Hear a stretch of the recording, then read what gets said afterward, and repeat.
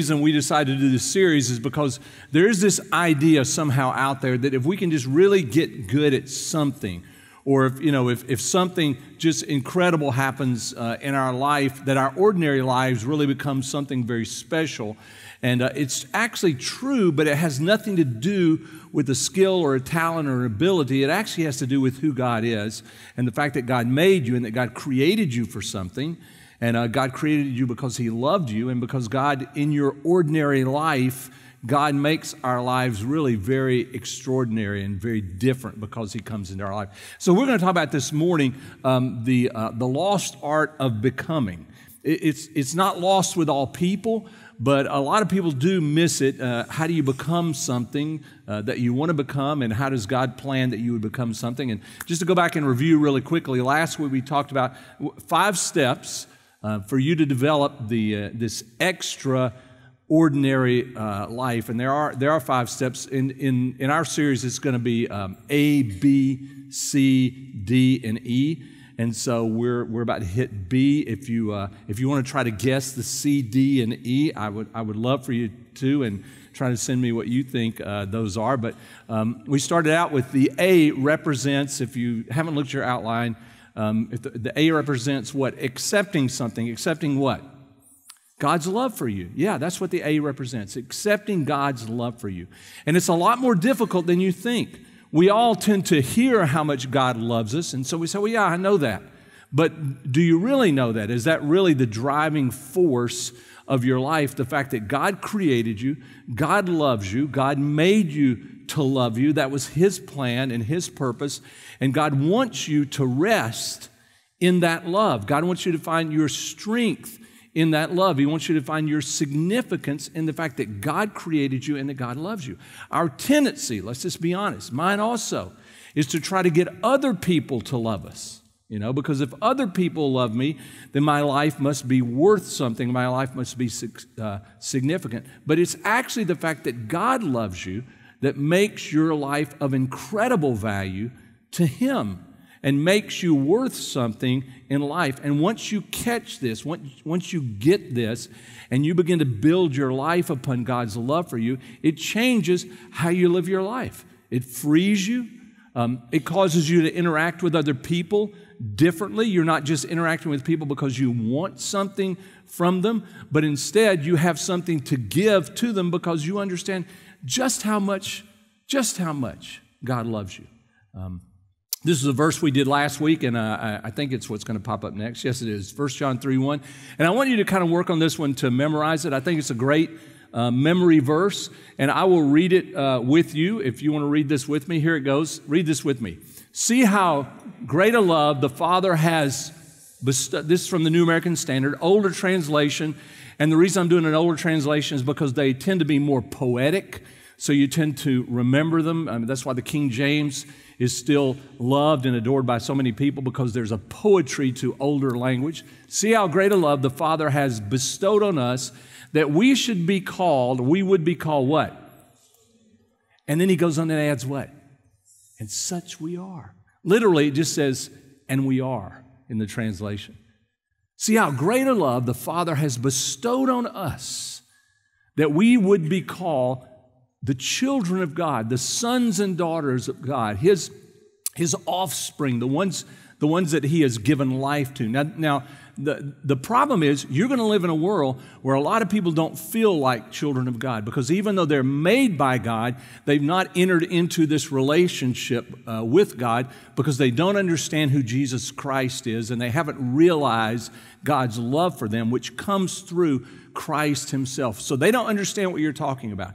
They won't get it. In fact, the reality of it is when you go and say, you know, I just, I understand how much God loves me, that just changed me, they're going to look at you and say, that's really weird, right? Okay. And it is in some extent. If you don't understand it, if you don't, you haven't figured that part out, it is really weird because you're like, where is God? You know, so, so some force out there really loves you, but God becomes personal through Christ so that you understand just how much God loves you and that, that because of Christ, we are now related, we're tied in, we become His children. And, and as He says, and that's exactly who we are because God has done something to bring us to um, that relationship. Now, let, let, me give you the second one. The B stands for um, become part of a family. It's, we're really talking about the church itself is this, is this family. Or I put in your outline, I left a blank for you to write the word belong, because that's what it is.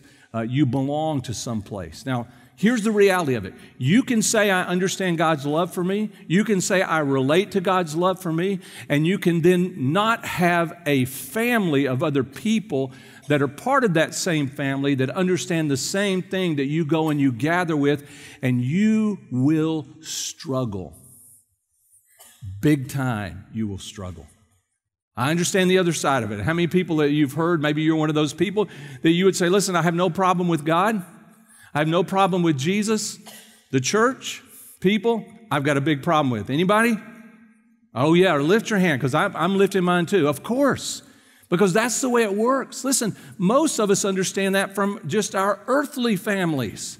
You know, the, the people that we get along with, uh, sometimes in, in the worst way, are our own siblings, you know, because we see them every day. We have to deal with them every day.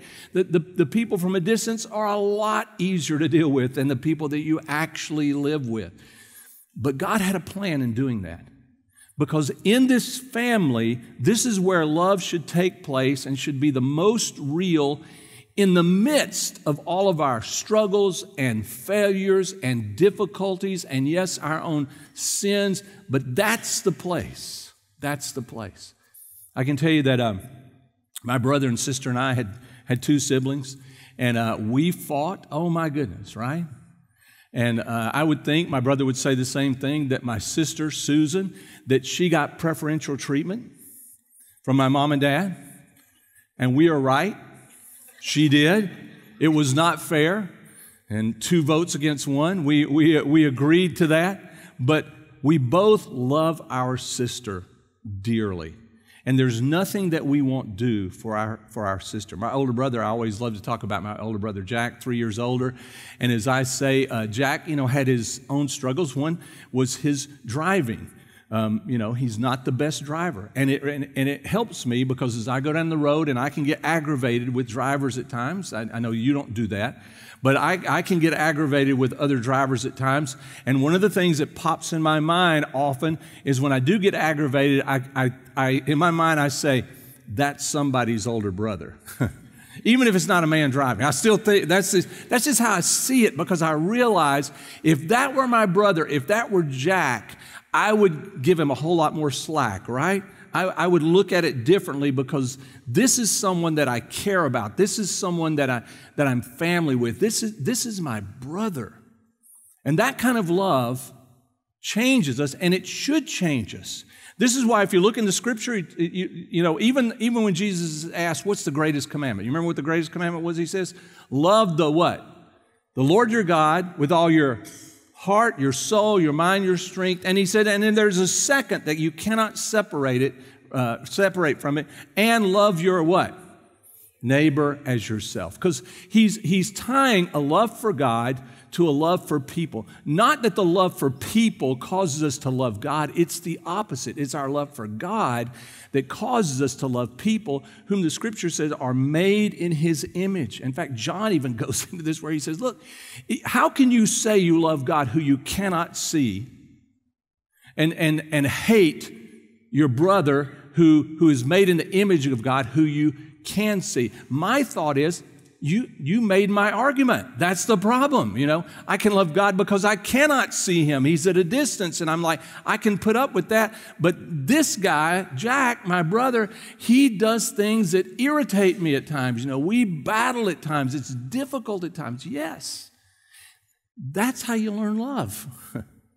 That's how you learn to love somebody and care for somebody despite their struggles and their difficulties. It doesn't mean that you don't that you say everything they do is right. That's not what it means to love someone. Someone sometimes to love someone is to be absolutely honest with them, but let them know I'm not going anywhere, you know. I'm not bailing out. I'm not not going to. This is why I tell parents because parents sometimes will get you know in struggles uh, with their kids. Love your kids. It doesn't mean agree with everything. It doesn't mean don't discipline your children. It doesn't mean don't say, well, I don't think this would be the right, you know, I disagree with them, of course. but love them. And the reason is, and, and it, this is in the Bible too, it is the compassion of God that draws us to Him. It's not the fact that God is righteous and never did anything wrong. That, that tends to repel us from God because we think, well, I, I can't meet that standard. But it's God's compassion for us that draws us to Himself. In fact, the Bible says it is His compassion that draws us to repentance, to realize, okay, but if you, if you don't have a place to go, if you don't believe that God is someone who cares for you, why would you even admit your faults or your struggles or your difficulties if you don't believe that there's something greater than that that would, that would bring you back? Well, you wouldn't. You would cover them, which is what we do. You would ignore your difficulties, which is what we do. You would say, My problems, my struggles, my sins, they're not, there's nothing really wrong with those, which is what we do, because we have no place to go. But when there's a place to go, when you know that you're loved, then all of a sudden it's different. One of the things that Joni and I are the most proud about with our kids is that even when our kids did what they should not do, um, they messed up, they would still come back to us and tell us. You know, sometimes it took a while. Sometimes it was a really, really, really big struggle, struggle to come back and, and tell us, but they would come back and tell us. And the reason is because they knew we loved them more than anyone else loved them. So we'll find a way to get through this. We'll work through this. We will still, still be there with you. I have a, um, had a friend a long time ago. It's one of my favorite stories. And so if you've never heard it before, um, okay, you're going to sit for a while. No, not that long. It's, there's, there's a guy named Rich. And years and years and years ago, uh, I was serving at a church uh, down in Houston, very affluent on the southwest side of Houston in the Galleria area. So everybody that goes there and people that live there, you know, I mean, River Oaks is in this area, and all the, you know, there's all this big, big money, successful people, aggressive people, highly educated people. I mean, this is this is where we worked and ministered, and this was part of my job. And here I was, a, a guy from a little town in South Carolina, you know, that that rode in on a pumpkin truck, and it was true. That, I mean, that was you know, that was the, that was the way it worked. But there was this guy named Rich, and he would show up. And I did, I did singles ministry uh, at the time. And all of a sudden, he started showing up because another guy that I knew started bringing him. let me tell you about Rich. Rich was uh, about six feet tall, and Rich weighed less than 120 pounds. And I know you think, is, is that thin? Yes, that's incredibly thin for a guy six feet tall. And the reason was because of his lifestyle and the things that he was in. He, he um, had a drug problem, he had an alcohol problem, all these things that, that took a lot of the life out of him. He was very, very, very, very quiet. When he came, he wouldn't say a word to anyone. He didn't look like he belonged with people in this group. Uh, he didn't dress like he belonged with people in this group. Uh, he had no real idea or looking at you to try to say, you, you should accept me because I'm like you. And he would show up. And I still remember the first Sunday that he came with this friend of mine that he worked with him. Um, I, I said, not to him, but to someone else, he'll never come back. And the reason I said that was because I thought, well, he's going to look around and say, there's nobody here like me. Why, why would I come back to this place? And guess what? The next Sunday, guess who showed back up? You can say his name. Rich. He did. And so the next Sunday he showed up, still didn't say anything. He listened. Um, he, was, he was still apart. I noticed he was wearing the same clothes as when he came before. In fact, he had this shirt. Does anybody remember those shirts? They're, they were, uh, some of them were made out of silk, the expensive, but most were made out of polyester, but they looked like a print of like, you know, uh, London or you know Amsterdam. You know there was like a city print. Anybody remember those? Anybody wearing one today? So before I okay, I just, you know. So that, they were really in at one time, and at this point when he would he came, they had been really in about ten years earlier. But here's what I understood: this was the best he had, because every Sunday when I would see him, he would be wearing the same clothes and the same shirt that was way out of style according to you know all the people that, that we were around. And uh, you know but he would still show up and he would show up. And every sunday i would say i would say it to my wife yeah he, he won't be back next sunday. He would be back. He, he won't be back next sunday. He would be back. One sunday it was probably about this time of the year he'd been coming uh, for about six months or so.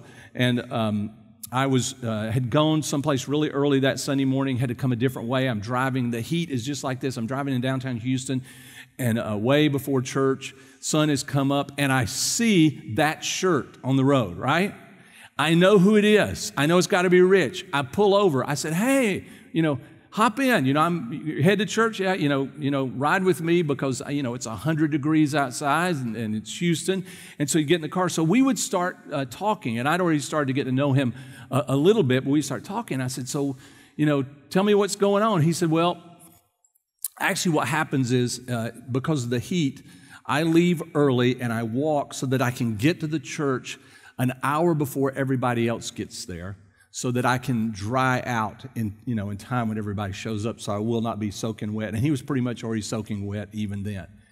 And so here, here we go. So he'd been doing it, and I'd, I'd been doing my predictions every Sunday, not coming back, not coming back. So, so I had to ask, I mean, why do you come back? You know, it's just to me the natural question. I wasn't because I didn't want him to. Uh, but why do you come back? And this is what he said. I want you to think about this. He said, Because I hear something about God and about Jesus that if it's true, I can't walk away from it. I don't want to miss it. And he would come back every, every Sunday, every Sunday to hear the message of how much God loved him and how God had sent his son Jesus Christ for him. And if that were true, that would radically change his whole impression of himself. I never met his family. I'm not even sure if he had any relatives or parents that knew him or whatever. Came from a really, really, you know, poor, you know, difficult uh, place in life that, that he didn't, you know, talk about much because he wouldn't think you'd be interested in it. But he was hearing a message. He was hearing something about a heavenly father that loved him and something about a savior, Jesus Christ, who came and gave his life for rich because he loved rich. But, let me explain to you. If he doesn't come back to the same place every week where there are people who are a mess also, who, who a lot of people, you know, where I'm from, they thought they were important because of how much money they had or, you know, of their, their education or some particular skill. That's what they were basing their life on. They never fully got what he got early on, which is what makes it so important, so important that a guy like that shows up. Because Rich's life changed over those years dramatically. Uh, when the last time I saw Rich, Rich was about 170 pounds, so he had 50 something pounds heavier. He, he, he looked totally different. His hair looked totally different. His complexion was totally different. He no longer wore that shirt. I don't know what happened to that shirt, but he no longer wore that shirt. He had other clothes. He fit in. He was still his own personality, very quiet. We would go on um, um, vacations together. I mean, the group that I worked with, with the single adults, sometimes there'd be a couple hundred people, and we'd go skiing together. We'd rent out a whole place. He would be there. He's going. He's saving up his money. He's going with the group. He's, he attends the, the a small group with some other guys. He, I mean, he was just a part of everything. And it was absolutely amazing. In fact, probably one of the things that sticks with me more than anything else to watch him grow in his understanding of how much God loved him. That was the focal point of his life, and I belong. This is my family. These are people, they're not like me socially. They, they weren't educated like me. They didn't have the same, you know, upbringing that I did, but we have the same father and we have the same love that motivates us. And his life was absolutely radically changed by that relationship. Last time I saw Rich, he was married, had a kid, had a really good job, did really well for himself, still quiet and one of the most compassionate people that you would ever meet. Not, not outwardly, he didn't aggressively go after people, you know, to, to be compassionate and loving, but he was compassionate. When I first met him, probably three or four months before I ever saw him smile, probably in the car, when the first time I ever saw him, uh, saw him smile. Now he smiles all the time. I'm not talking about walking around with some fake grin on his face. He just realized his life had dramatically changed. A lot of that has to do with belonging.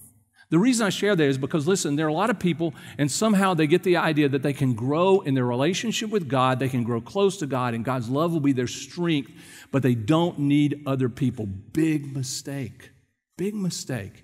It will not work because in the family is where you learn to get along. In the family is where you learn to deal with issues and struggles that you have. It's not a perfect place. Oh my goodness.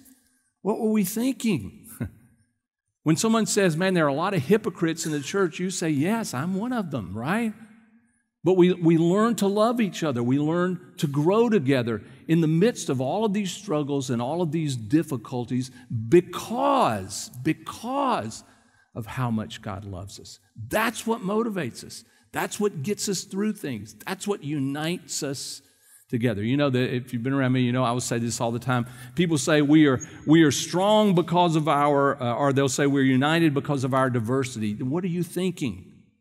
That's, that, that's the most nonsensical statement in the world. No one is united by their diversity. We're united despite our diversity. We're united by something greater than our diversity. We're united by something that pulls us together, even though we're not all alike. We don't come from the same backgrounds. We are jealous of each other. We struggle with each other. But there's something greater than that, and that's the way it's supposed to work because in a group like this, you say, why would they do this? Why would they come together? And it's an evidence of something greater than who we are that actually actually pulls us together and uh, keeps us together. So let me give you just uh, five or six points uh, this morning only um, on this. And first of all, about belonging and about uh, becoming, this art of becoming. First of all, the family, where you come and you worship together and you gather because of who Christ is, the family legitimizes who you are. You, you are a son or a daughter of God because you belong to the family. That's part of it. And, and if, you, if you're not a part of the family, it would cause someone to say, hmm, not so sure that they are who they say they are. This, this, is what, this is what draws you in. Here's what uh, it says in John chapter 13. This is Jesus, his words. So now I'm giving you, say this with me, now I'm giving you a what? New commandment. This was not given to the world. This is a new commandment to, to Jesus' followers, to his family, those, especially those 12 that were with him. Now I'm giving you a new commandment because he's, he's about to leave in this passage. This is all uh, John, about half of John is, is the last couple weeks of Jesus' life. Here's his commandment do what? love each other. And he, he, he quantifies it. He says, listen, love each other just as I have loved you, you should love each other. In other words, Jesus loved them, He cared for them, and, and they, had, they had experienced this. And He's saying, the same love that you have experienced from me, love one another the same way, care for one another the same way. In the verse 35, He says this here we go. He says, Your love for one another will what? Will prove to the world that you are my disciples. Your love for one another will prove that you understand how much God loves you. Your love for one another will prove you're in the same family. You believe these are my brothers and sisters because we have the same Father. We've been rescued by the same Savior that, that's, that's the proof of it. I put uh, two more in here. Uh, healthy growth doesn't happen in isolation. It doesn't. I'm not saying there aren't times when you are isolated or times when you need to go away and be by yourself alone with God. Those are important times for you to contemplate things, for you to grow together. I mean, Jesus went for 40 days when he started out in, into the wilderness. But in order to grow, you cannot just live an isolated life. Now, I know it's hard. And I know it's a struggle sometimes. It's easier just to be isolated. And especially in our, in our culture with, you know, cell phones and televisions and computers and things where you can live by yourself and just be hooked to a false idea that you have relationship because you don't have relationship. You're just being entertained or interacting in that way. You have to have, you have, to have a relationship to grow. Number three, I put on here, uh, you're more, more vulnerable uh, without your church family. I'm not saying vulnerable in the sense that when you're, when you're around your family, they know your weaknesses, right? My wife knows my weaknesses. And surprisingly, she loves me anyway.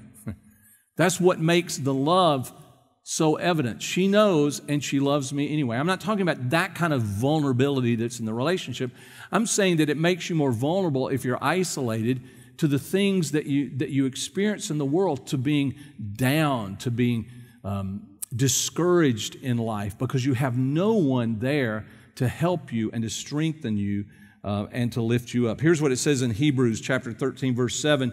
Uh, the writer says, Remember your leaders who taught you the word of God. Think of all the good that has come from their lives and follow their example or the example of their faith. That, that's because in relationship, you have those that you can look to and you can follow after them. Look at verse 17. I know you think the preacher's putting this out. Here we go. Verse 17 Obey your leaders, submit to them. Yes. For they keep watch over your souls as those who will give an account. Let them do this with joy and not with grief, for this would be unprofitable to you if, you know, if they're really struggling. Uh, years ago, I'm walking into a 7 Eleven and there's two boys as I'm going in. I would say no, uh, no older than maybe 13 years old. As I walk by, uh, there's a rail there. They're leaning against it. And, and out of one of their mouths, as they're talking together, pretty loud, uh, there are all these profanities that, that come out. I mean, just like, whoa. I mean, I, you know, it was hard for me to believe a 13 year old knew these words. Certainly that he would boldly say them in public around other people and all. And I, I, I, I reacted Probably should not have reacted. Dangerous thing to do sometimes, right? But I just stopped. I, it's kind of hit me real quick. And I said, Hey, did your mama teach you to talk like that? Now, that's dangerous, you know. He might have said something about my mama, you know, or something like that. You know, I you know, you don't know how somebody's going to react. But you know what his reaction was? He immediately said, No, sir, she didn't. Totally different kid all of a sudden when I brought up his mom in the, in, in the conversation. And then, and then, then I went on. Totally different. You know why? Because this kid probably had a mom that loved him and cared for him and had more experience than he did in life and would teach him something different. Because what happens with a kid, I'll give you a little bit of child psychology. With a kid, you use big words that are beyond you and they sound like adult words and they're profane and things like that. And it makes you feel bigger, more important than you really are. It impresses your peers. But when you bring mom up, mom is not impressed at all. In fact, mom knows where this leads to and how this kind of false sense of who you are is a very dangerous thing in life. You need to understand who you are. You need to understand, and that's what that's I guarantee he had a mom that was teaching him, trying to teach him who he really was so that he would build his life on things that mattered, that counted, that he could build his life upon. And she would not be happy with his language, right? She would not set an example for that kind of language. She, she would discipline him if she heard that kind of language. Why? Because she, what? Loved her son. Absolutely. Absolutely. That's one of the reasons you need a family. I need a family. Because we need someone to help correct us at times. We need someone to set a different example at times in our lives. We need to be in a place where we know if we get out of line, somebody who cares for me, someone who it's important to them, is going to step up and say, hey, you don't want to go there. In schools, you see this all the time. You see kids who do not believe that there's someone who cares for them act up in public settings where there are adults. Why? Because they're acting out the fact that they do not believe there's someone who really does love and care for them. And they're trying to get discipline and attention and a reaction because they don't really believe they matter anywhere else. Probably the worst thing you can do to anyone is to act as if or teach them that what they do doesn't matter they will lose self respect. They will lose dignity when you do this. Terrible thing to take away from any person. Instead, the truth helps anyone, especially spoken in love, to understand that, uh, that their life really does count and their life really does matter. Here's number four your church family helps you develop your giftedness. And it is true. Uh, you have gifts, you have skills, and this is a place in a family uh, this is a, a family also, the church is, where you can develop those gifts and skills. Here's what it says in Ephesians chapter 4. It's pretty lengthy. Let me read this for you. Verse number 11 says, Now these are the gifts Christ gave to the church. The church means to his family, the people in his family. And he, he did it for a reason. Here's the gifts the apostles, the prophets, the evangelists, uh, the pastors and teachers. This is not all the gifts. He's, just, he's using these for, for a reason. Verse 12 their responsibility is to equip God's people to do his work and to build up the church, the body of Christ, this, the family. This will continue until we all come to such unity, and it means until we grow up to, the, to our faith and knowledge of God's Son that will be mature in the Lord, measuring up to the full and complete standard of who Christ is, right? That's where we're growing up to. We're, we just have to be growing as a, as a family in that direction. Verse 14, he says, Then we will no longer be immature like children. We won't be tossed and blown. Catch this.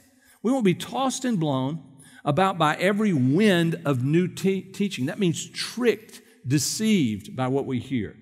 We will not be influenced when people try to trick us with lies so clever they sound like the truth.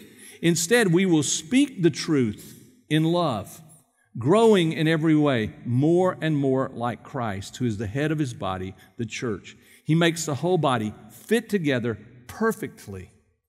As, as each part does its own special work, it helps the other parts. Say that with me? Helps them do what?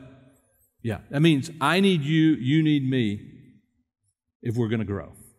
So that the whole body is healthy and growing and full of what? It, it doesn't mean we smile all the time, right? It just means we're real. And that, that the love that we have is real and genuine. Somebody reminded me this week they had to go get a passport. And uh, one of the things they tell you when you do your passport picture is anybody know? Don't what? Don't smile. Yeah. Because they want the picture to look like you really are. Because the custom agent is not going to see you smiling. Maybe you could throw them off by going, It's not you, you know. Yeah, they want to know you as you really are. So that there's a real love and a real care in the family for who you are your giftedness, your ability, your skills, all those things. And then in the family, even as people who are not a part of the family, who God wants them to understand, to accept His love for them and become a part, so that they realize, they recognize, hmm, something about that. Something about being a part of that, that family. Here's number five your church family safeguards your soul. It, it really does. Here's what uh, in Galatians, uh, Paul is writing uh, uh, to, the, to the believers there, and he says, Dear brothers and sisters, if, if another believer is overcome by some sin, and he's not taking this lightly, he says, You, are God, you who are godly should gently and humbly help the person back on the right path. And be careful not to fall into the same temptation yourself. Share each other's burdens and in this way obey the law of Christ. Because this is what Jesus did for us. If you think you are too important, I love this verse. If you think you're too important to help someone, you're only fooling yourself. you're not that important. That sounds like the golf video, right? You're not that good, right? You're not that, no. You, no one is so important that you can't help someone who is struggling or someone, someone else who's going through a, uh, a difficulty. Here's the last one. Number six, your church family is a continuing witness to the world. I, I love um, in Jesus' prayer, this is recorded, John records it in the 17th chapter. This is what Jesus says during his prayer. He says, I'm praying not only for these disciples, that was the ones right in front of him, but also for all who will ever believe in me through their message. You know who is included in that? Who? Us, right. We're, we're part of that. So it's not only, he's not only talking about other believers who might be in a different location at this time, he's talking about other believers who might be in a different time. We are almost 2,000 years later after this time, and he is including us in the family when he says this. He's saying to his disciples, You're part of a family. You have no idea how extensive the family is going to be and, and, and the family that is to come. We're, we're part of the family with them. And then he says this in, in verse 21. He says, I pray that they will all be, right? Those there, those 2,000 years later, they'll always be what? One. Well, how can that happen? How, how could we be one? We don't live in Palestine. We didn't live 2,000 years ago. We couldn't live at that, uh, at that time. I pray that they all be one, just as you and I, he's talking to the Father, as we are one. As you are in me, Father, and I am in you. And may they be in us, So that, here we go, so that the world will believe that you sent who? Me. Jesus saying, I pray that they would all be one. That, that we, 2,000 years ago, there would be a connection even between us and the disciples 2,000 years earlier, that there would be like a family and a oneness, so that the world around us would still look and see that and see this connection. We believe the same things. We hold to the same things at their core. We're not the same people. We don't live in the same culture they did. But there's this, this strong love and this unity that pulls us together as a witness to the world around us who God desperately loves and desperately wants them to understand how much He loves them so that they would look around and say, there might be something to this. Maybe God is trying to do something for me, just like He did something for them. Maybe there's a place for me in this family, this local family, just like there was a place for those people 2,000 years ago in that local family who believed and built their life on the same thing, on the love of the Father that came through the Son to reach down to us and say, Listen, you are loved. God wants you to be a part. There's a family that has been created for you. It's more than your biological family. This is a family built on faith this is a supernatural structure to this family and a supernatural existence to this family, which makes your life and my life and those who will even come after us absolutely incredible because they will be part of something that is so much bigger than just themselves, just their own life. Would you pray with me this morning? And as we pray together, if you're here and you've never put your hope and your faith in Jesus Christ, may, maybe you just didn't get it before. Maybe, maybe like a lot of people, you've just heard how much God loves you so many times it just kind of goes over your head. You never really realized why God loved you and what God wanted to do for you. How God wanted to change your, your entire perspective of life your whole perspective on other people totally change it through his son Jesus Christ. I can't think of anything that would be more powerful for your life or more important than for you to be a person in your own way, how you got there, like Rich, who's, who heard a message, who realized if this is true, I want this. I can't not show up. I can't walk away. If, if this is true, this is absolutely life changing. If God really did send his son into the world, Jesus Christ, and if Jesus did live a perfect life, even though he went through every struggle, every difficulty that I would go through, he went through a life just like I've had to go through. But if, if Jesus was able to stay on track, to hold his ground, to be the, the, the, the perfect person, all because he wanted to give his life to rescue me. I can't ignore that. I, I can't go back to just living my life the way it was before, if that's true.